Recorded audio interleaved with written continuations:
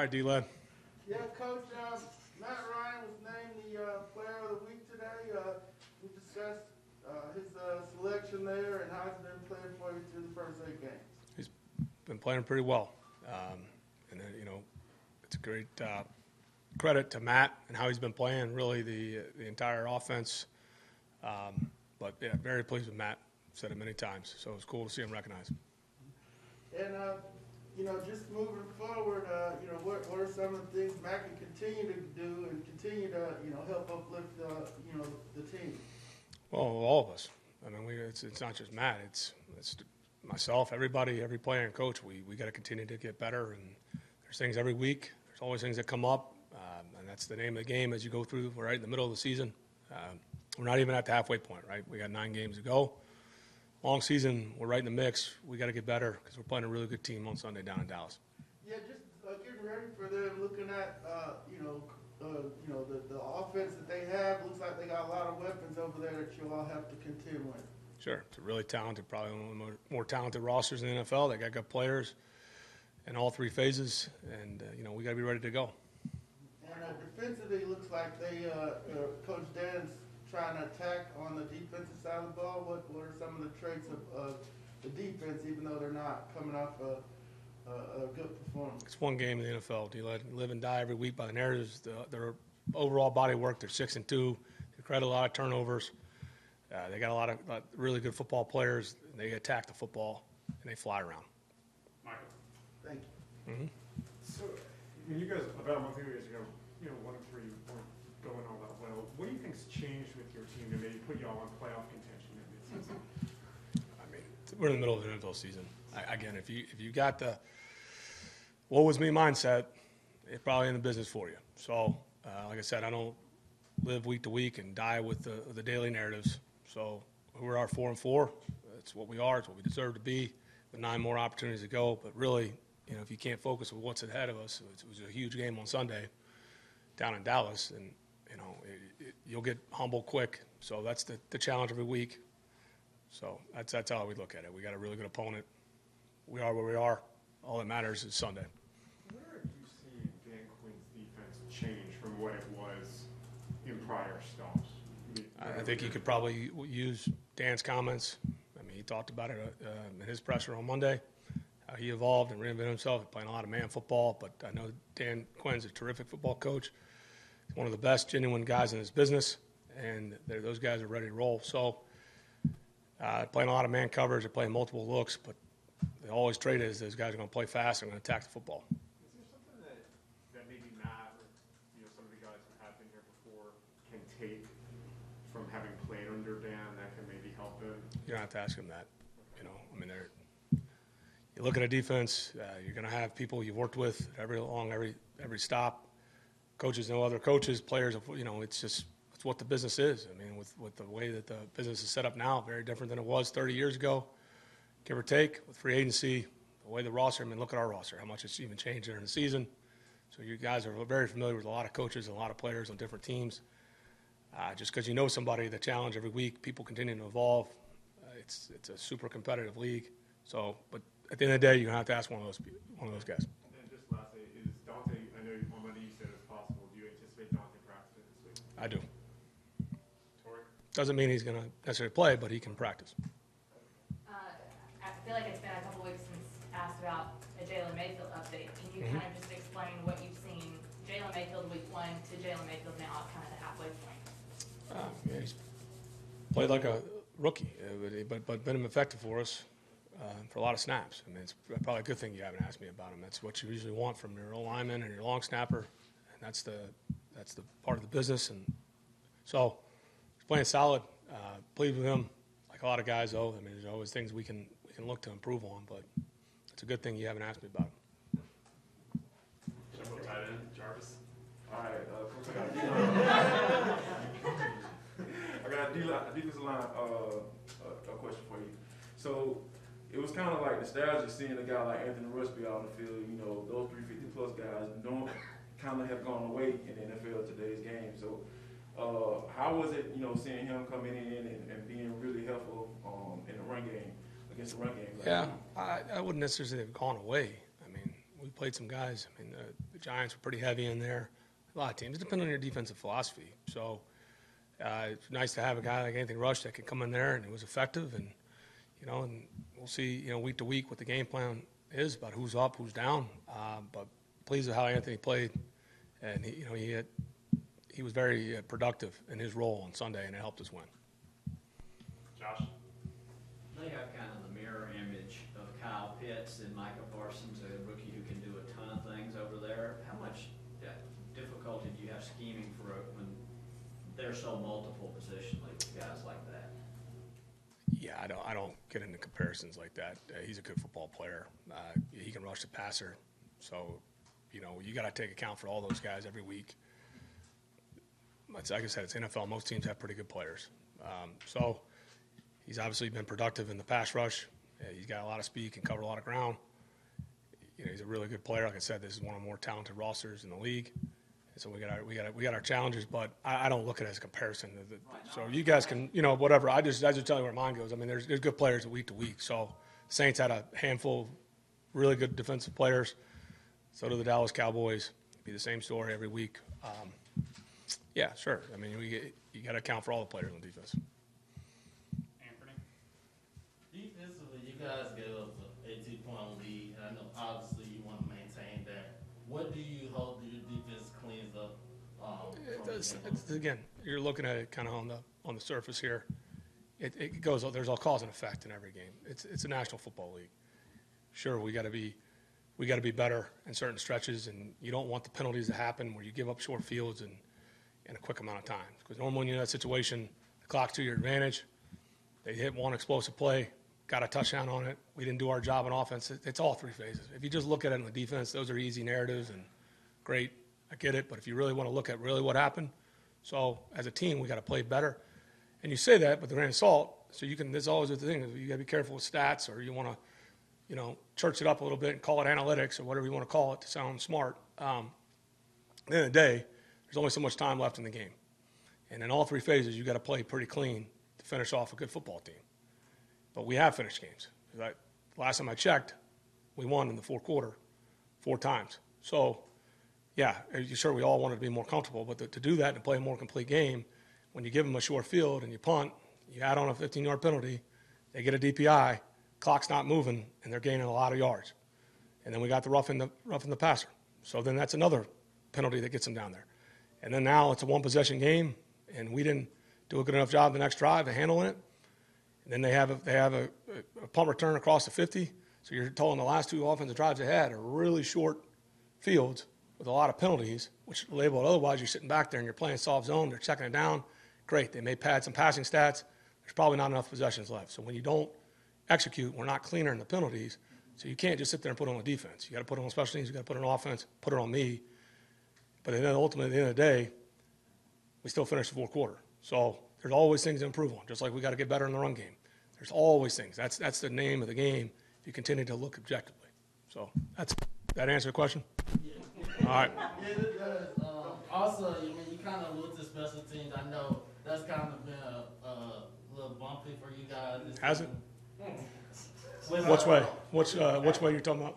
With uh, okay, so with the special teams, with giving up the huge kick, obviously. Do you put the field goals and extra points and the, some of the I mean, kicks, the, the, the kicks, you know, the ones we had inside? I mean, you got to put the whole thing in there. So when you say special teams, you're talking about which one? That's why I'm asking you to define what you're asking me. What what part? Yeah, in the game per se. The punt return. Yeah, yeah. Yeah, they had one punt Yeah, return, they had one return, yes. You guys went on the field though. What, what are you seeing for special teams to be able to battle through and just, you know, Like a lot, of, like a lot of three phases. There's things we got to clean up. There's some good, obviously, um, some bad.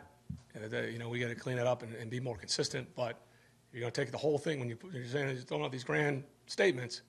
You're asking about yes, we gave up a punt return late, critical play. Deonte Harris made. We got to cover better. We got to get off blocks. He made a play. We need to tackle in space better. We also the punt return before that. Let's not hand him things. Got a bang bang playing on the sideline. They're going to call that. That's handing them stuff. So again, it just depends where your mindset is. You're you taking the whole special teams, or are you just saying the punt return aspect in that game on Sunday? And then Harris is a pretty good returner, so you got to make objective decisions whether or not you want to keep continuing to him, We sky kicked it a couple times, so you can concede something here. So that's the name of the game. So that's why, you know, so I appreciate the question, but I want to define that a little bit more. Charles? I know you guys can have uh, uh, players in for tryouts uh, any given week. Sure. Regardless of your record. Does the tone of conversations that you might have about a player who has become a free agent change when you're uh, in a- in the playoff hunt? I, you, you, I think almost every team in the league had this had the same conversations. You know, depending what your, what your situation is, where you think you need, what do you think you can do, anything. Whether you're you know you're bringing in you know specialists to kick to make sure you got an emergency list. You're bringing in you know tackles you want to look at. Uh, it's pretty common, especially this time of year. Guys looking at guys that may sign for future contracts. Uh, I think probably every team in the league has those conversations daily. That's what their personnel departments do. Um, so that's what you're asking. I think probably every team in the league has those conversations. To follow up, you've had a lot of different players, um, well, in the last couple of weeks, different guys step up at wide receiver. Um, Can you talk about what you've seen from your depth there, and you- are you content with the options that you have now? So again, play the song and dance. Pretty, pretty, uh, pretty happy with the guys we have. But any chance we have at any position, we're always looking to improve. We've seen that. I said it in the spring, said it in the summer, said it in camp.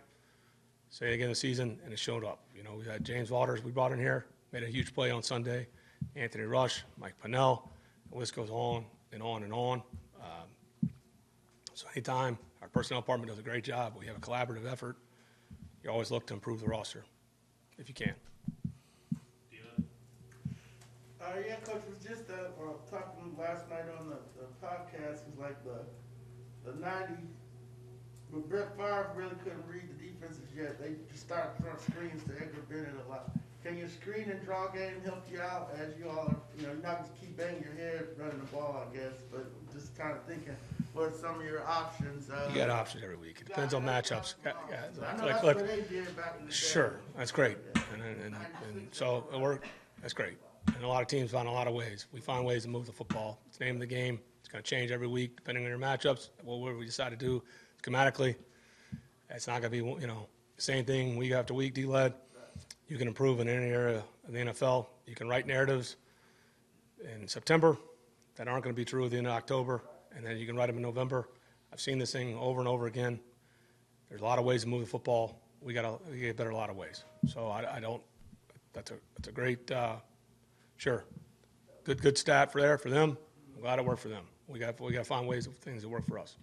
And uh, what are some challenges that the, the defense will face against the number one rated uh, offense in the league? Well, again, I mean it's it's been a very they've turned out a lot of yards the last couple of seasons there. It's been a you know a very like I said the Dallas Cowboys they've usually got pretty good players. Uh, they got a high flying attack. They can you know they got good players. Like I said, it's more and more talented rosters. So they got they got guys outside, and Cooper and Lamb. Schultz a good tight end. They got a good offensive line. Obviously, Dak's a really good quarterback. They can hand the ball to Ezekiel Elliott. They can hand it to Pollard. They got a lot of ways to move the football they got a really talented football team. So we got our work cut out for us. Um, but there's a challenge every week. Yeah. Michael? Yeah, going to the multiplicity of different players and being able to move to different places, are there things that when you're looking at a guy, whether it's a free agent or draft pick, that you go back in their past to kind of find to say, oh, maybe this is a good you know, predictor, I guess, that this guy can maybe do this or that? I mean, you take everything into account. You want to take the whole body of work. If there's anything to help you, that's why if you got good scouts and you do your research and you, you, you collaborate as an effort, you don't let egos get in the way. You're not running for office. You can have those conversations and make the best decision for your team, and that's what we try to do. Um, and they got to, you know, it's got to fit. And we got to, you got to have a vision. You got to make it work. I guess what I was getting at is, are there things that you will see that you're like looking for maybe commonality trade-wise? Sure. When you're kind of getting a vision, whether it's Yeah, there's things you see. multiple sports or whatever it might be. Yeah, there's things you see. Share a neighbor. You do, no, not really. so, Coach, real quick, with, with having Matt Ryan, when you come into a new situation, you're trying to figure out where you need to focus first. After these first eight games, you kind of like shy away from maybe changing him, and it it gives you more chance to concentrate on the other, having a veteran quarterback that you don't have to worry about too much. Uh, you got to worry about everybody in your roster. I mean, it's just things you're looking at and what you know that they're going to try to take away, and that's a challenge every week when you're game plan. There's always things. Uh, again, I mean, if you just look at numbers, and he's been productive, but he's been productive in a lot of different systems. That's where I think he's really underrated because a lot of quarterbacks are usually with the same system for most of their career or a long stretch of their career. He's changed in a lot of systems. And that's a credit to him. It's, it's allowed him to kind of reinvent himself subtly that most people don't know. There's some things that we've asked him to do that he wasn't comfortable with in his past that he's been been really effective this year for us. But we'll continue to push and, and find the right balance. But that's with every player on the roster. You know, whether he's in year 14 or year 50 like Colquitt, you know, there's still things you got to tweak and, and you're trying to, to improve. So, Well, what, what, I mean is, like you just said, he was able to adapt to what you Sure. him to do. Does that allow you, when you have a quarterback says, okay, he's buying into what I'm trying to put on the field here, does that allow you to work on the running game, Does it allow you to maybe spend a little more? there's always things to work on. You're not just going to ignore one thing. If you do, shame on you. Uh, that, that, that's what's going to, you know what I mean? Like, most people are going to try to take away your strengths, and that's a challenge every week in the NFL. So, there's not, you know, if you're a, a big time program, you recruited well for a couple years, you know, it's not just going to overwhelm. You're never going to have just overwhelming talent where you say, hey, I can ignore something. He's just better. I mean, that's the that's a challenge in the NFL, and that's just not what we believe in. We're trying to. I, I have concern about every position and everything that's involved with this football team. So we're not going to neglect something and say we got it anywhere, because that's to me that's you'll get humbled and you'll you'll fall off cliff quick. Josh? C- CP has already reached a career high in offensive yards. Why do you think it's clicked so well for him in, here in year nine? Uh, you'd probably that's a better question for him. Uh, you know, Vantage point, what do you, what do you? I see a good football player that's that can that can move the football a lot of ways for us. Um, a guy even at his age, there's some things that you know he's again all his experiences probably led up to this. Uh, he's he kind of fits what we've we've we're asking him to do. He, he can move around, he can play a lot of roles, but so that's a better question for him. We're very pleased with him. I enjoy coaching him. How much in the process of getting him here did you talk to him about the multiple roles and how much is- did he embrace it then and how much does he embrace it better question for him. We had a vision for him, and uh, it's evolving, and, and very pleased with him. Chris? You, you said Matt is excelling at some different things that he hasn't been asked to do before in your system.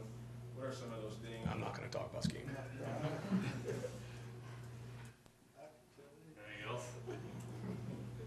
David? Coach, you break up the season in four quarters. You know, First quarter, you guys won No, I don't- I don't do that. three and one. What do you attribute to the turnaround, and what's your assessment of this team? Asking, do you break it up in four quarters? Got, I don't break it up in four quarters. So, um, again, it's pretty, pretty simple. It's maybe not the answer you're looking for. All we try to do is, is focus, be objective after you, you play. What are our issues? What can we fix? How do we get better? And that's all we really concern ourselves with, regardless of the result. And so, uh, sure, you, you, you want to start the season better, but the reality, you, know, you got to deal with what the reality was. So, it's, it's such a long season, but if you're going to live and die with every day's narrative, and that's the world you want to live in, it's, this isn't the business for you. Michael? Yeah, I wanna go back to Patterson for a second. Why, because those skill position players, when they hit around thirty, it- This is like a challenge between you and Josh. yeah. Okay, let's, let's keep going. No, it doesn't aggravate me. I promise you. I, if Bessie let me, I'd stand here all day. I enjoy, I enjoy this more than you guys realize. Go ahead. We got nowhere to be. All right, I, I, I just got to be somewhere at one o'clock. So We got plenty of coffee too. Stay on there. Uh, well, most, you know, when you look at running back, like the old, the old adage, at least, that running backs and doing. like the Edgar Bennett's. Like, yeah, go back. Like, I- I- Anybody in Green Bay, D-Led's going to be up here. Oh, I know. I'm waiting for him to, to have a KGB reference for, for the uh, pass rush. He cut Or, or Mark Chmura. I'm waiting for all your old I was just references. waiting for, for the Peppers Green Bay years. Personally. Yeah, well, D-Led, that's before D-Led, so he was there. and he- Give a Brown play like, after the Brother rest Brown, of yeah, So I got you off your game. Uh, there you go. Um, so most running, you know, a lot of times the old adage is that running backs at age 30, and to some extent maybe wide receivers, that's when they start to decline. Why, why do you think Patterson has, in some ways, maybe reversed that? Well, I mean, I, I think, I go back to the age question. I, I think there's always going to be outliers. I think, You know, just look around society today. I mean, that, hell, you got one of the more productive quarterbacks, 45 years old. So, you know, I don't know. I mean, you're, you're, you're basically saying our history says, and it's probably true for most people, but there's always going to be outliers. I mean, the game's a lot different in the way guys train and the way they practice now. You know, just have working with guys that played in a different era. I mean, the, the game's gotten a lot safer, and people are smarter the way they train. So that that all has a huge factor into it, even at the at the young the youth levels, right? So, uh, you know, even in the NFL in, in the 70s and 80s, there were teams that did full full pads, goal line practices on Fridays. I mean, that's I mean, you do that, they probably ban you from football now. So, and that's a small. I'm just saying, like that's where a lot of things. And then think about the fields they play on now. You go from the old AstroTurf. I mean, God Almighty. I mean, those guys in that era, especially those quarterbacks, they used to get. I mean, that was it. But people, you like to think people get smarter, although you make an argument that maybe we're not in that era anymore. But you look at society, but you look at football, you'd like to think it's gotten more progressive and safer, and that's why you're probably seeing guys play longer than they used to. Uh, and that, you know, whether that pertains to CP or not, I think you're seeing that more common around professional sports. Same thing in the NBA. I mean, you got guys that are, there's outliers, but there's guys that are playing a lot longer there too. Do you think prime, maybe the prime years for an NFL player might change though? Where it Yeah, it's probably, a, that's, a, that's probably a good question, but it's probably, uh, you know, to answer that now, I don't have that data in front of me and I haven't seen some kind of study on it. Uh, but I, that's probably a really interesting study. So, anything else? Hattie era of Memphis Tigers, how do you feel about that? I'm so pissed they lost to Cincinnati in the Elite Eight. I love the reference. I'm right in his wheelhouse now. The early '90s, the early '90s sports scene. Uh, I'm at the new Penny era. This is, you know. I was thinking when I say Penny, I think of old Memphis State. Those uh, teams with Larry Finch and, and uh, yeah. Rodney Newsom, We got time for one more. Hasselbeck, Josh. those guys. You said a couple times this year that momentum is real. Is that just within a game, or is that week to week as well? You certainly feel it in the game more, um, that's what makes it like tough when you play at a place like New Orleans, right? I mean, you could feel it. Anybody who was in the stadium, you could feel it in the fourth quarter, and that's what you're obviously trying to combat. And um, luckily, we handled it well enough to have a chance and we, to, to win it at the end. Uh, you know, week to week, I think the problem is if you ride, you certainly can build confidence, but if you skip steps during the week, that the momentum, you know, it's, it doesn't carry over because the game could go right. You you feel like right about the game, and first play the guy can, you know, fumble the open opening kickoff, and you put yourself in a hole right away. And you know, you just got to. There's so many variables that can happen. Uh, I think you can definitely build confidence, but you can't skip steps because I don't think it's going to carry over. Whether we, however we finish in New Orleans or however Dallas played against Denver, not really going to. Once the ball's kicked off, noon Central on Sunday, it's not going to. That game had no effect on it. All right. Appreciate you guys getting back. Thank you.